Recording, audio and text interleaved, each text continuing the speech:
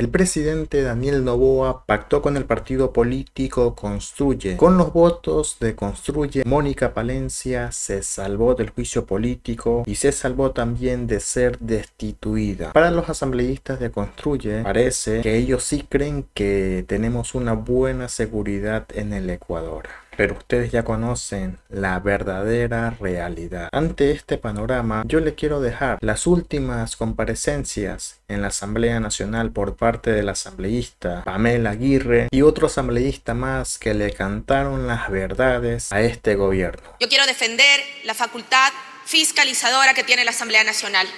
No podemos permitir que aquí, en el Pleno, se diga que fiscalizar los actos del poder público sea persecución. No es persecución, no es odio y peor aún es desestabilización. Es democracia. No hacerlo sería faltar al mandato que nos ha conferido el pueblo ecuatoriano. La Comisión de Fiscalización ha llevado seis juicios políticos, dos juicios políticos presentados por la bancada de la Revolución Ciudadana y cuatro juicios políticos presentados por otras bancadas. El trabajo de la comisión no hace distinción entre los asambleístas de bancadas A, B o C que presentan los juicios políticos. Y tampoco hace distinción entre los funcionarios cuestionados. A todos se les da el mismo trabajo técnico, jurídico y sobre todo en busca de la verdad. Bajo los principios de soberanía popular y representación política, como lo dice la Corte Constitucional, los gobernantes son responsables por el desempeño de sus funciones ante el pueblo soberano.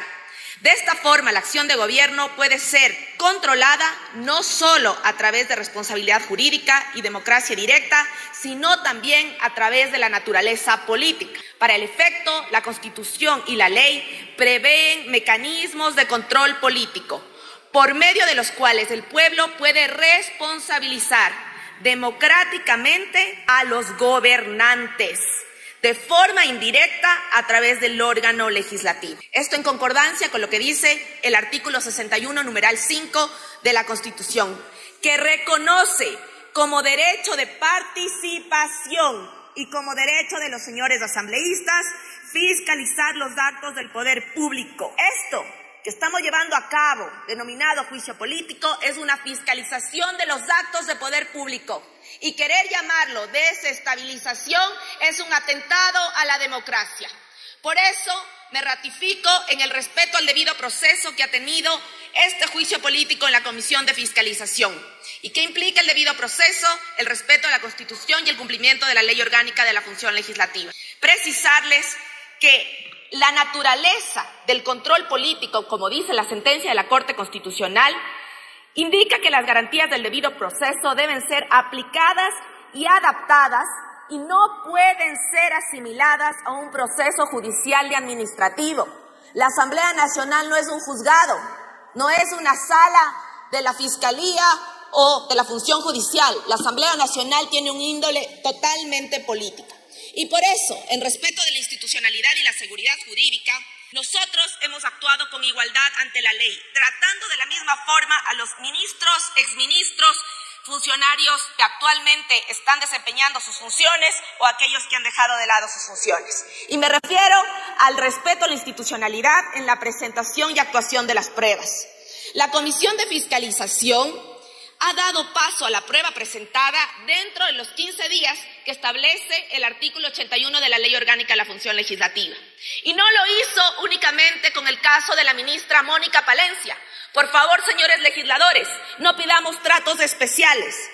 Lo mismo sucedió con el ex ministro de Inclusión Económica y Social, Esteban Bernal, cuando el vicepresidente Egner Recalde solicitó la incorporación de cuatro testimonios dentro del plazo de 15 días que da la ley orgánica de la función legislativa. Se permitieron estos testimonios, por supuesto. ¿Por qué? Porque era lo legal. Además, también se practicaron testimonios cuando se llevó a cabo el juicio político a Santos Albite, en la cual la asambleísta Nicole Saca, también de ADN como Egner Recalde, solicitaron la incorporación de 18 pruebas dentro del plazo de los 15 días, como dice el artículo 18 de la Ley Orgánica de la Función Legislativa. Esas 18 pruebas fueron actuadas y practicadas en la comisión. Y ahora sí, no querían que en el juicio político a la ministra Palencia se actúen pruebas audiovisuales, ni testimoniales, ni de otra índole presentadas dentro de los 15 días.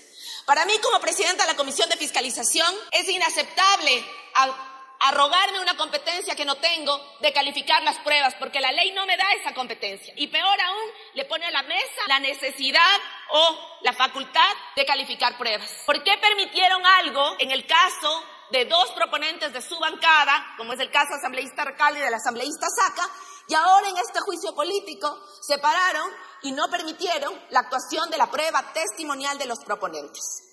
Y ese no es el único caso donde quieren tratar de manera distinta los juicios políticos. Por ejemplo, se mencionaba la obligatoriedad de notarizar cada uno de los documentos. Eso jamás se ha exigido en los otros juicios políticos. Tanto es así que el actual juicio político presentado, por ejemplo, por la asambleísta Ana Galarza, no tiene notarizados los documentos. Y eso no significa que no los vamos a conocer y que la proponente no los pueda actuar porque nosotros como comisión no actuamos a dedo, no porque lo presentó la asambleísta Recalde, la asambleísta Saca, la asambleísta Galarza, hoy aplico la ley de una manera y mañana aplico la ley de otra manera. Y eso querían que suceda en el caso de la ministra Palencia, que nos olvidemos de lo que dice la ley orgánica de la función legislativa y que no actuemos, como siempre lo hemos hecho, dando un trato especial. Y eso no lo íbamos a permitir.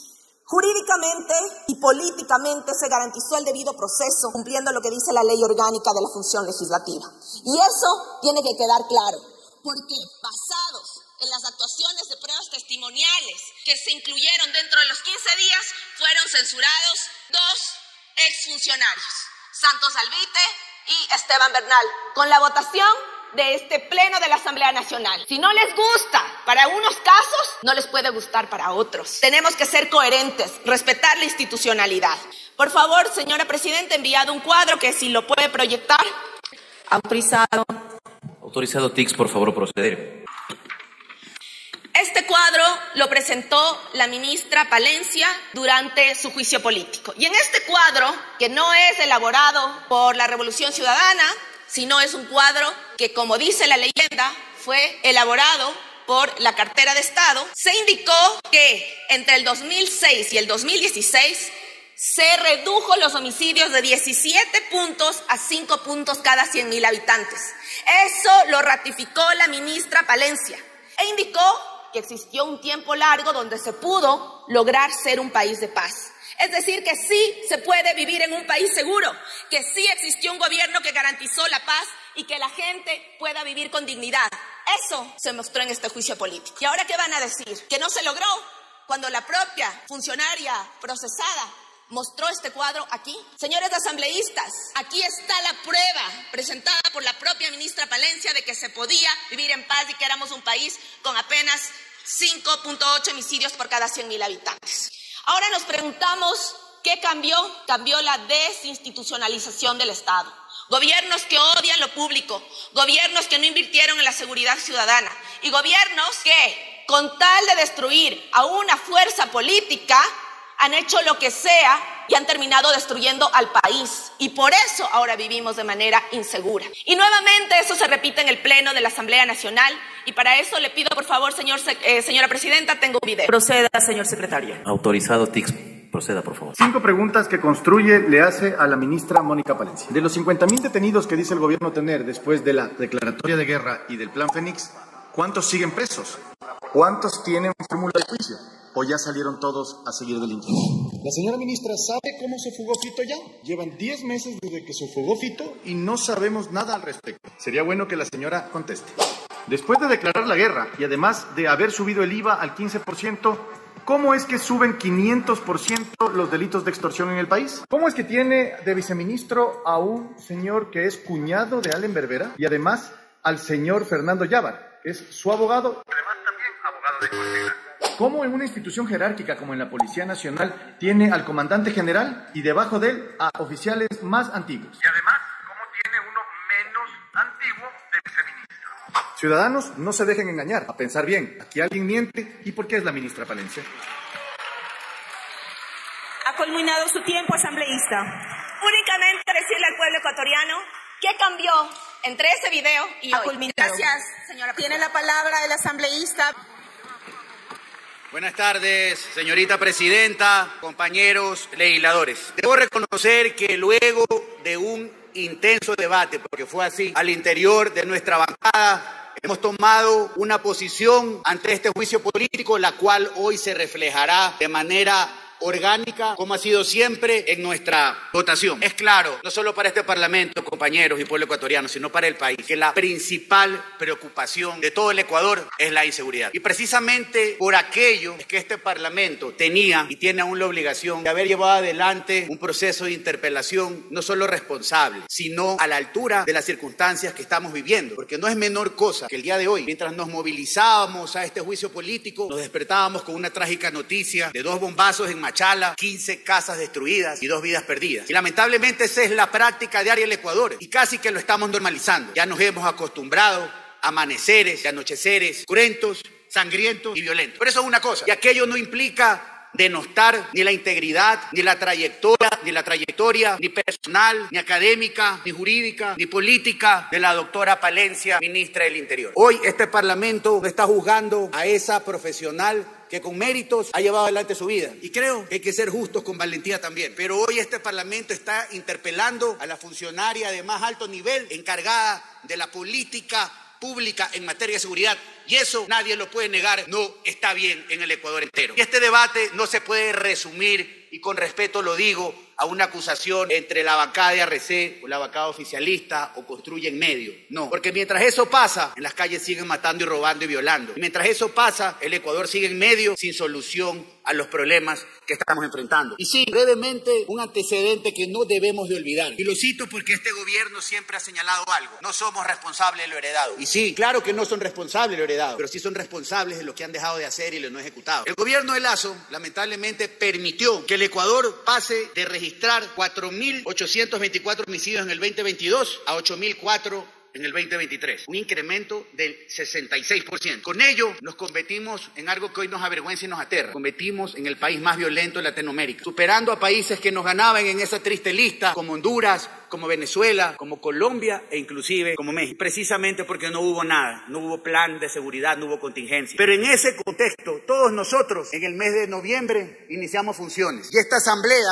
le dio al Ecuador a este gobierno, y hay que decirlo con claridad, las condiciones de gobernabilidad precisamente para que gestione y entre otras cosas para que actúe en razón de resolver el problema de inseguridad. Aprobamos todo, inclusive todos los proyectos económicos urgentes. Y esta bancada, más allá de las diferencias, ha puesto y seguirá poniendo al Ecuador primero. Y por ello mocionamos y apoyamos la declaratoria de conflicto interno con razón de ser al crimen organizado de este país. Y también condenamos la irrupción en la Embajada de México y también condenamos el mal obrar de esa nación. Y desde ese momento hemos sido respetuosos de las decisiones que tomen los tribunales internacionales. Y qué importante referir la causal de México, porque cuidado, señores asambleístas, lean bien la moción y yo sí quisiera que el proyecto de resolución aclare sobre qué se está votando porque bajo ningún concepto aquí se puede discutir y se puede votar acerca de México. Y esto es un tema, un tip breve de procedimiento parlamentario, que no se diga que estaba juntado lo uno con lo otro. Hubo varias acusaciones, bastaría comprobar una sola para establecer la responsabilidad política, fundamentarla así,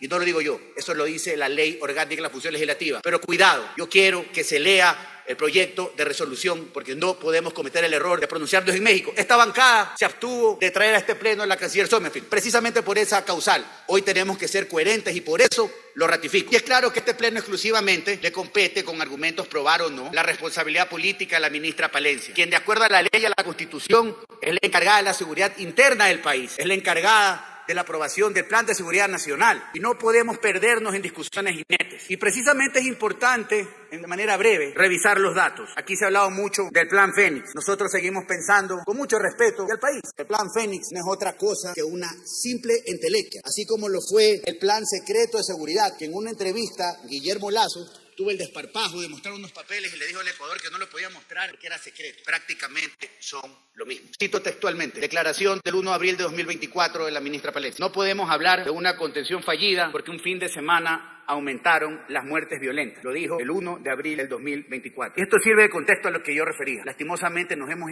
nos hemos acostumbrado a acostarnos y a levantarnos con sangre y con violencia. Y sin duda alguna creo que existen buenas intenciones por parte de la ministra, que existe valentía por parte de la ministra, pero aquello no es suficiente porque no se traduce en resultados. Los ecuatorianos y este Parlamento le ha dado al gobierno todo. Respaldo en una consulta popular para que se apliquen reformas penales, a la ley de extinción de dominio, al costo de nuestra economía, tres puntos más al IVA para que ese dinero presuntamente sea destinado a equipamiento y a seguridad de la fuerza pública. Aún así, los resultados no se sienten. Por ejemplo, esta ola de secuestros y vacunas extorsivas, y voy a referirme a mi provincia, a la zona 8, a la ciudad de Guayaquil. En el primer cuatrimestre de este año, vacunas y secuestros rondearon un incremento del 470 data oficial, comparado con el mismo trimestre en el ejercicio 2023. Agosto de este año, 603 muertes, el mes más violento del año. Más violento inclusive que agosto del 2023, que hasta este momento, porque este año no se termina, ha sido el mes más violento en la historia del Ecuador.